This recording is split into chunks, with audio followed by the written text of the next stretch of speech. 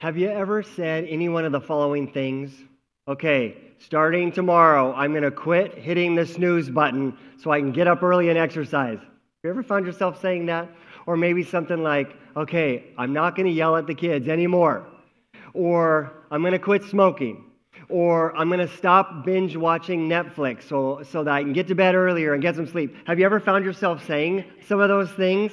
A lot of times at New Year's Day, we say those things maybe different times throughout the year. I, I read about a kid recently who was uh, just uh, really um, addicted to biting his fingernails. And so his mom got some yucky tasting gel to rub on his fingernails to get him to stop um, biting his fingernails so much. But then, after a while, he just kind of developed a taste for it and it's like, mm, yeah, yum, yum. This tastes good. Uh, have you ever had a habit that you just couldn't break? Maybe, you know, it's maybe a big life changing habit or maybe just a little silly thing, but um, you know, it, it, it, for you, like this habit is wrong or it's harmful or there's just something about it, uh, and you've tried to change your behavior time and time again. You've worked on it, and maybe you, you kind of overcame for a little while and you did a little better for a while and you thought, oh, it's going pretty good. You prayed and prayed that God would take it away and then it just comes back. Like, what is going on? It's sort of like when you, um, this time of year, mow the dandelions in your yard and you mow them and you look, wow, this, this is great. There's not a dandelion in sight. This is looking very fine. And then a couple days later, there they are all over again. It, it, the, the issue is that you haven't gotten the roots out. You can just cut off the tops, but those things are going to come back. They're really still there. You just kind of set them aside for a little while. There's something deeper going on, and that's the way it is with habits in your life. There's something deeper going on. It's not just a surface thing. So you need some wisdom from God's word. And we're looking at a, a, a, series of messages right now in the book of Proverbs, which is a book of wisdom. So would you turn in your Bible to Proverbs chapter 4, verses 20 to 23 is a great passage in, in the Word of God. And it really talks about getting to the root of the problem, the root of the issues in your life. It's not enough just to whack off the dandelions. We got to get at the root if you're going to see any real progress. So, Proverbs chapter 4, verse 20 says this My child, pay attention to what I say. Okay, so God spoke through different human writers to write down the Bible and the book of Proverbs, mostly written down by King Solomon, king of, of Israel, of God's people. And so he has in mind preparing the next generation to take over the kingship and to take over leadership of the country. And so he's writing down all this wisdom. But then we realize as he gets into it, he is just giving wisdom for life. That's good for you and for me, especially for anyone who is following Jesus. This is a great practical blueprint. So Solomon says, My child, listen up. Pay attention to what I say. Listen carefully to my words. Use your ears. Don't lose sight of them. Use your eyes. Don't, uh, uh, uh don't lose sight of them. Let them penetrate deep. Someone say deep. deep. Let them penetrate deep into your heart. Why? For they bring life to those who find them and healing to their whole body. So this this this little passage here, these little, little few verses, Solomon is saying, listen up. If you want to be wise, if you want to have a good life, if you want to follow God, listen to my words written down in the book of Proverbs. Listen up, pay attention. And he warns his uh, the next generation that there are a lot of voices out there and he mentions a few in the book of Proverbs, like he mentions some good voices. He says, God is speaking to you. Listen up. Solomon is saying, I'm speaking to you as the Holy Spirit speaks through me. Listen up. Pay attention. Listen to godly counselors.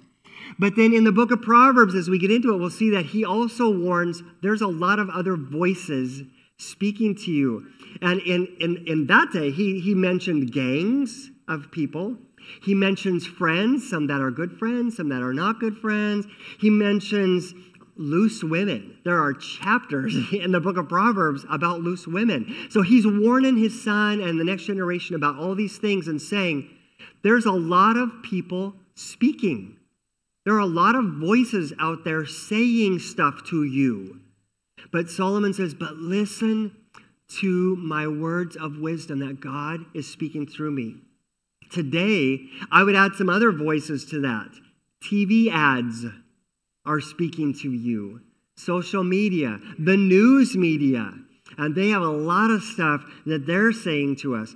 Your family, your friends, your coworkers, your classmates, there are people all around you. The whole entire internet is speaking to you. There are so many voices saying so many things today that we need to stop every so often and just go, wait, I'm going to listen to God's word first. Listen to his word. I, I read a quote, I love this. Wisdom is a person to love Jesus. Wisdom is a path to walk, it is living your life in a wise way. Wisdom is a process of receiving the right words and listening to the right voice. So there's a little bit about wisdom that is a relationship. Jesus is the personification of wisdom. He is called the wisdom of God, Jesus. So there's a, a, an element of wisdom that is just simply being in tight relationship with Jesus. There's another aspect of wisdom that's very practical, and it's your path. It's how you walk through life. You can walk through life wisely or not. And then the last part of that quote, I just love this. It is wisdom is the process of tuning out some voices and tuning in to God's voice listening to the right voice at the right time because everyone's speaking to you. Everyone wants to influence you. Everyone wants your heart. And so we got to tune in to God. So I love that Solomon said, use your senses, use your eyes, and read the word of God and take it in. Use your ears, the ears of your heart, the ears of your spirit. Listen up to God's word. And especially when we're talking about wisdom, the book of Proverbs. This is this is this is the wisdom book right here. I love it. So I, I want you to just catch this before we move on. Your eyes and ears are the doorway to your heart. Your eyes and your ears are the doorway to your heart. Your eyes and your ears are the doorway to your heart. All right, that's a very important concept. So that's why what you watch, what you look at, what you read, what you listen to, whom you trust are so important because all those things are going into your heart. So I got to ask you who or what are you watching? Who or what are you reading? Who are what who or what are you listening to? Who do you trust? more than anyone else or anything else, who do you trust? It makes a difference. Are you paying attention to God's word? Or are you listening to the lies of the enemy, the world, the flesh, the devil? Who are you listening to? What, what are you focused on? Um, are, are you listening to God's word? Are you paying attention to it? Or are the lies of the enemy? And how can you tell the difference? How would you even know the difference between those voices? Because there are a ton of voices speaking to you and speaking at you. You are being influenced by the messages you take in, the messages you take on in your heart and in your life. You are being influenced. You are being pushed, nudged, led one way or the other in all the areas of your life based on what you are accepting into your heart and into your mind. And it gets there through your eyes and your ears. And this brings us to the main verse I want to focus on today. Verse 23, Proverbs 4:23. Guard your heart a little bit. Is that what the word says? Guard your heart. Somebody say above all else. Oh, wow. Okay, this is important then. Guard your heart above all else. Why? For it determines the course of your life. Okay, so wow, we got this progression going on. Stuff comes in and it affects your heart, and then your heart leads you. Oh my goodness. Stuff gets into your heart, and then your heart leads you. So you have got to guard your heart above all else because it determines the course of your life. I, love, I, I always read several different translations of the Bible when I'm preparing the message, and I love the way it says in the amplified translation of the bible proverbs 4, 4.23 keep and guard your heart with all vigilance. You know that word vigilante? You be a vigilante over your heart. And you just you stand up and take charge uh, in the new king james version it says for out of it spring the issues of life you got issues i got issues it springs out of your heart. How did your heart get where it's it, where it is? It's what you let into it. It's whether you guarded it or not. Your whole life flows out of your heart. What do I mean by your heart? In this case, we're talking about your inner person, your mind, will, emotions, your conscience, that part that's on the inside of you, at the core of you. Your whole life flows out of that. You say, well, yeah, but I do this with my hands or I do this with my feet. Yeah, and you know where that comes from? Your heart. But I just go to work and do what I'm told. Well, your heart said, I'm going to be faithful and show up for work. Like out of your heart are all the issues of life. If you've got issues, deal with your heart. And that's what we're going to talk about today. Jesus said that every word you say comes out of the overflow of your heart. Mm-hmm. You say, oh no, that's just my mouth, that's just my tongue. No, your tongue is inspired by your heart. That's where it comes from. Everything you believe, everything you do, every choice you make, every word you speak comes out of your heart. Deep beneath your habits is your heart. Deep beneath your habits is your heart. So many times we focus on the behavior, behavior modification. We just got to change my behavior. But if you would change your heart, your behavior would follow. Your heart is the command center of your life. It is calling the shots on the words you speak and the choices you make. So the Bible says Proverbs 4:23, so guard your heart above all else. Above all else. In the Amplified, it said, keep and guard your heart with all vigilance and above all that you guard. So you, I, I had, I had a situation, um, uh, I think it was yesterday, yesterday where uh, Pastor Shelley and I went, went in uh, to a place, and I went, my wallet.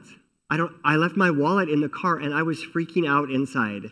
Um, uh, uh we're actually at the hospital visiting someone, and so like it was a lot to just figure out that I was not going back. And I was just like, Lord, please watch my wallet and keep it safe. What was I doing? I was guarding something that's valuable to me. But the Word of God says there's something more important, more valuable than your wallet. It's your heart. So you know how much I intently uh, guarded my wallet? Like I, ne- I just, I'm so shocked. I got out of the car without it. I always just, I always just grab it. Something more important than that, something more worth guarding, is your heart. Your heart. You need to guard your heart the way the Secret Service guards the President of the United States when he travels they don't just go willy nilly, just, just like, oh, I hope everything's okay today. They go ahead. Any city where he's going, they go ahead months ahead. They plan out all the routes that where the motorcades will be driving. They make sure that he is never more than 10 minutes from a hospital that has a trauma center. Like they they go ahead of time. They make sure everything is good. And then when he gets there, They are watching every second, and he does not make a move without Secret Service watching. And they're, they're scanning. They are what? They're looking for threats. And if they see a threat, they're going to take immediate action to make sure that the president is safe. That's how you got to guard your heart. Like that. You are the Secret Service agent for your own heart. You have got to guard it. You've got to be looking for threats. You've got to monitor what goes in and out of your heart. So, are, are you letting negativity flow into your life and into your heart? Are you, are you believing lies of the, of the enemy? Uh, is, is he saying that um, just give up praying about that thing. Uh, just, you'll never amount to anything. Like, what, what lies are you coming? You got to be watching for that. Um, what, what are you watching? Uh, is, it, is, it, is it moral? Is it immoral? Like, what, what are you paying attention to? What are you looking at? You got to be guarding it. What about things that you're just accepting as truth? Do you just accept everything that comes your way? If it's on the internet or if uh, ABC World News says it, does that mean it's true? You got to be guarding. You got to be listening. You got to be using the filter of God's word and monitoring what goes in and out of you, what goes into your heart and what comes out of your mouth and out of your actions. You are to guard your heart. You are the secret service agent of your heart. Except we have a big old problem. Your heart is deceitful. In Jeremiah 17:9 is what it says. The human heart is the most deceitful of all things and desperately wicked. Oh my goodness. Okay, so out of your heart flows your whole life, but your heart will deceive you. Oh my goodness. Your the human heart has an amazing capacity to justify any sin. In fact, what do you do? Like, like say, for example, you, t- you tell a lie. And then you, you think to yourself, oh, I'm not a liar. What did I do? Well, I do have good reason. In this case, it spared some people's feelings. It got me out of trouble. Like I do. We immediately start justifying our sin. We make excuses because the heart wants what it wants. So, to change your life, you need a change of heart. To change your life, you need a change of heart. Bad news. None of us can change our own heart. As much as we want, we, we focus on behavior so many times, we're going to just modify our behavior, but none of us can change the human heart. That's terrible. What can be done? God said, I know. God sent his only son, Jesus. He came and he lived the sinless life that you and I could not live. We could not do it on our own. He came with a pure heart. He gave his life on the cross to pay for the sins that you and I could not pay for.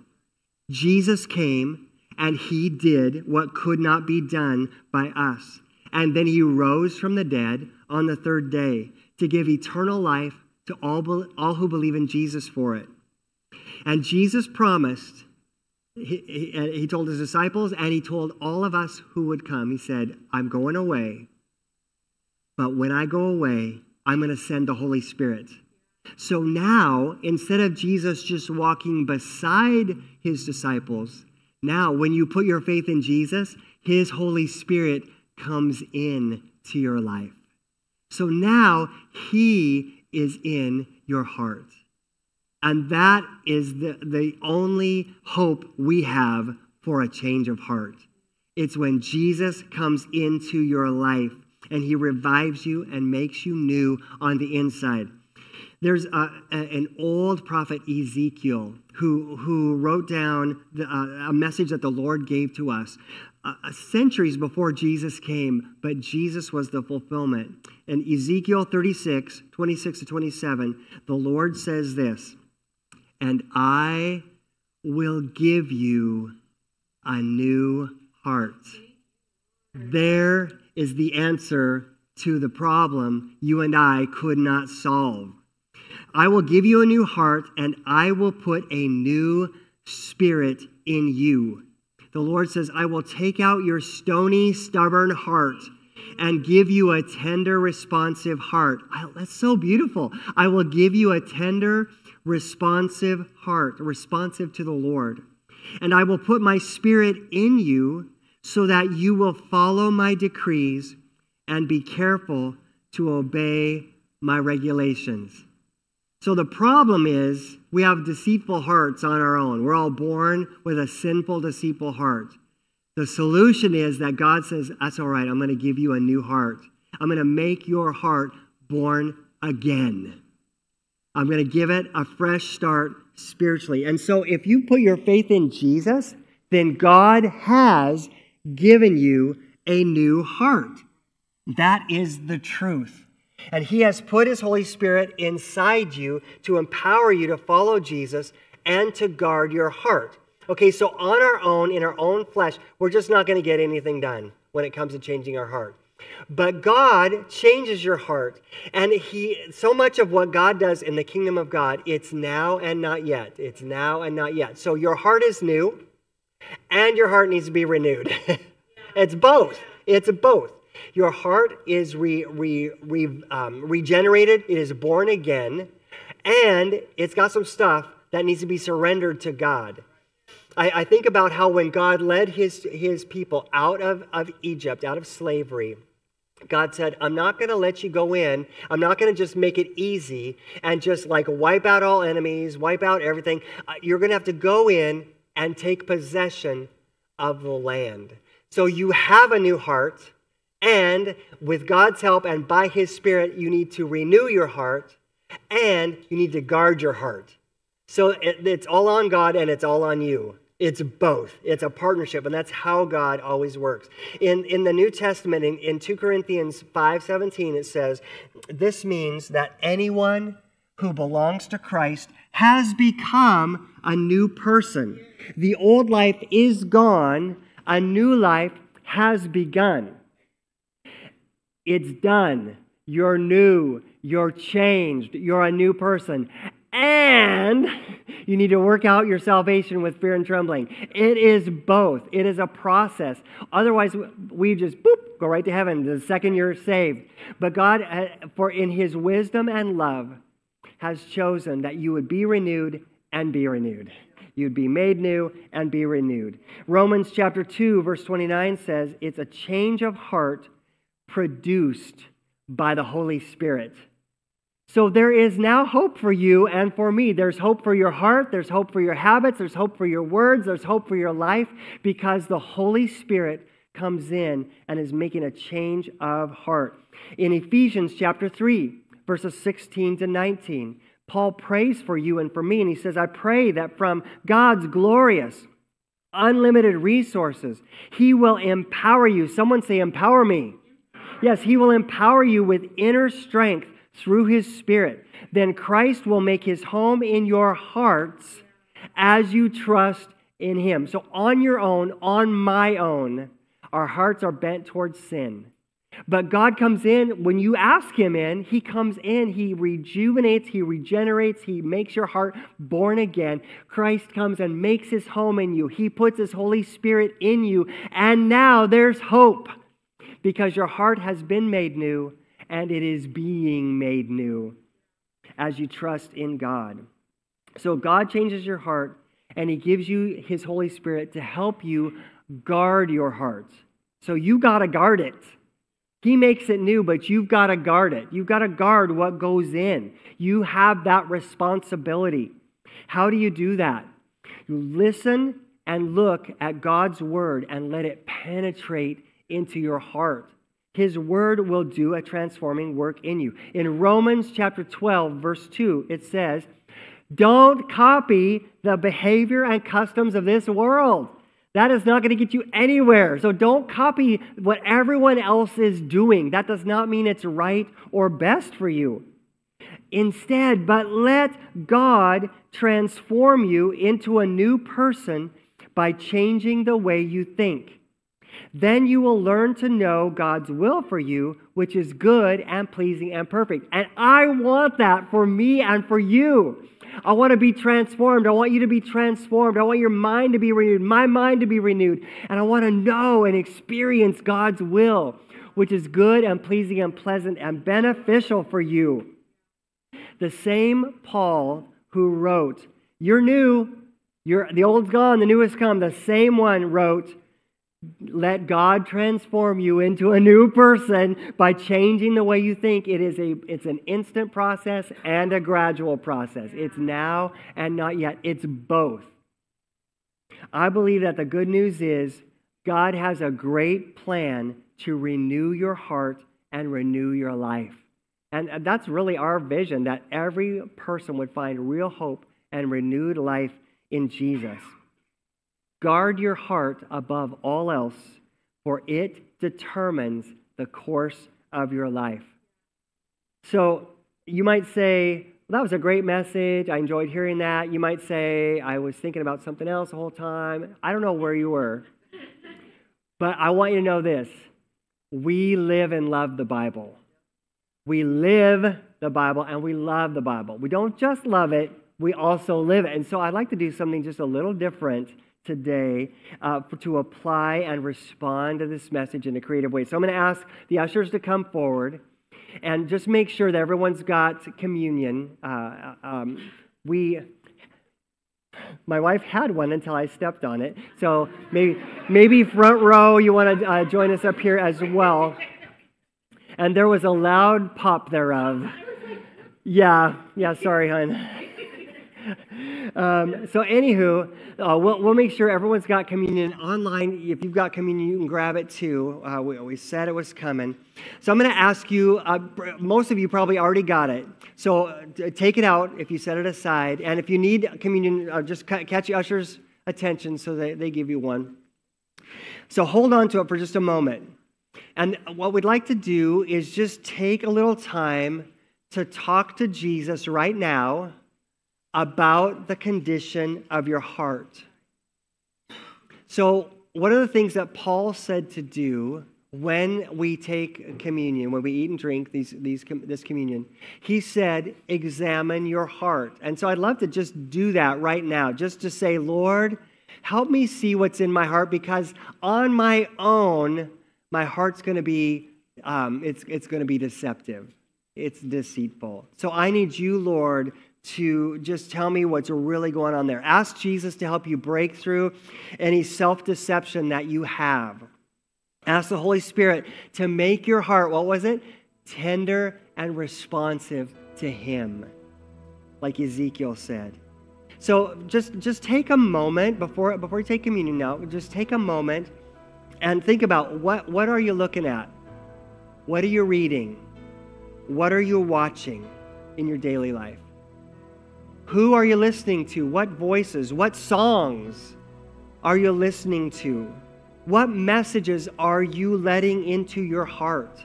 And just say, Lord, help me to, help me to really see what I've been allowing. Help me to really see what's going on in my heart and in my life. Pray about that. And whatever the Holy Spirit brings to your mind, pray about that and say, okay, Lord, you're reminding me that this is going on. You're showing me this is going on. And Lord, I just pray you'd help me. So then the last thing is make a plan to guard your heart. Secret Service makes a plan. They don't just like wake up out of bed and say, well, I guess we got to do something to keep, keep the president safe. They make a plan, they make a list, they think through scenarios. For you, think through scenarios. What scenarios is it where, where you let stuff into your, your life that's not from God?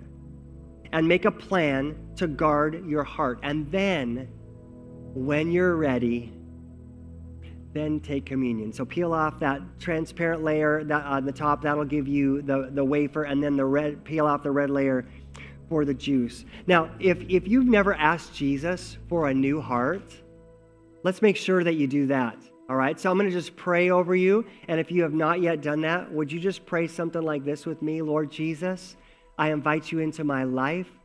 I acknowledge I'm a sinner. My heart is bent towards sin just like everybody's.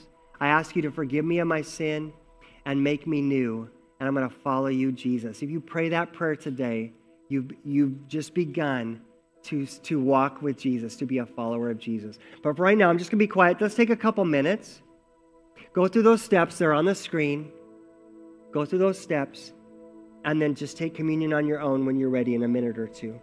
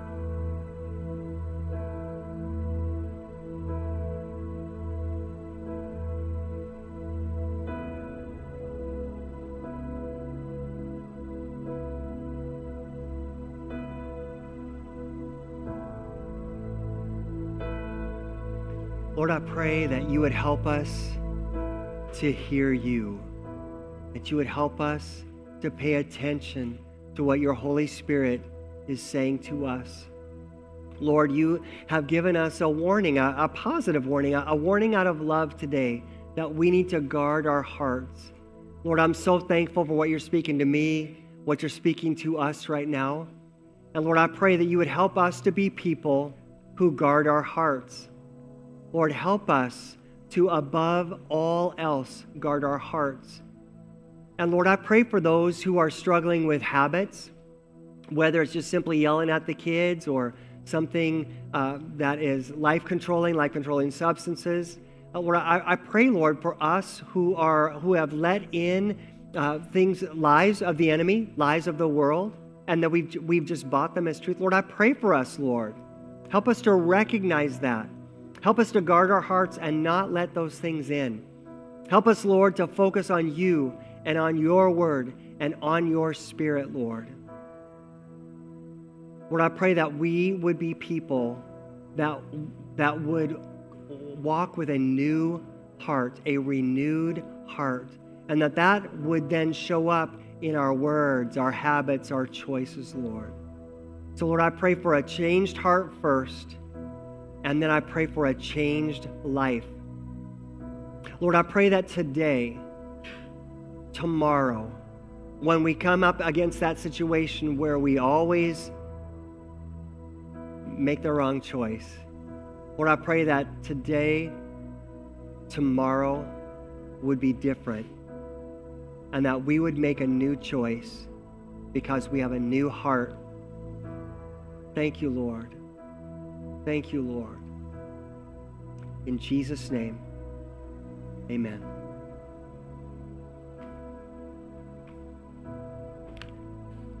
Thank you, Pastor Ghyrn. God is renewing our hearts and He is renewing our lives. Amen. And I am so glad He's doing that because we can't do it on our own. Amen.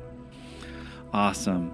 Well, um, if you still have your communion, um, the ushers are coming coming along and are going to be collecting that. And then um, also, if you filled out a, a, Connect card, if you wouldn't mind just putting it in the box on your way out, we'd love to connect you in that way. And then finally, do not forget if you are newer with us, please stop by um, and come to the welcome lunch right after service. We want to meet you. We want to get to know you. You're all invited. And then um, if you invited someone today or you invited someone to church previously, bring them along with you. Let's let's all get together and just let's let's have a meal together and enjoy it. All right, and then also one more final thing. Um, if you could just see me after service, we need a couple a couple guys to help stack some chairs in the back. Just a, just a couple. All right. God bless. We love you. We'll see you next week.